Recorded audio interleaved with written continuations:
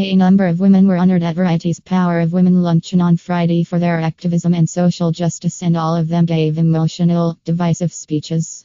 But despite that, it was host Vanessa Bayer's joke that divided the crowd the most. The Saturday Night Live star used her introduction to make a pointed joke about one of the events on Uri's Chelsea Clinton. Clinton was being honored for her work with Alliance for a Healthier Generation and is also well known for being the daughter of former US President Bill Clinton and Democratic nominee Hillary Clinton, who lost to Donald Trump last year. After listing the women who were being honored, Blake Lively, Jessica Chastain, Tina Knowles, Shari Redstone, Audra McDonald, Gayle King, and Chelsea Clinton Bayer drew a similarity between all of them. They all have one thing in common.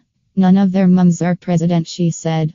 Bayer's joke was met with a shock reaction from the audience who grimaced at the joke, but it was Clinton's response that was the best.